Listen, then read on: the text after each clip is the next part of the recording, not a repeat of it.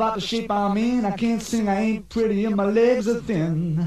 But don't ask me what I think of you. I might not give the answers that you want me to.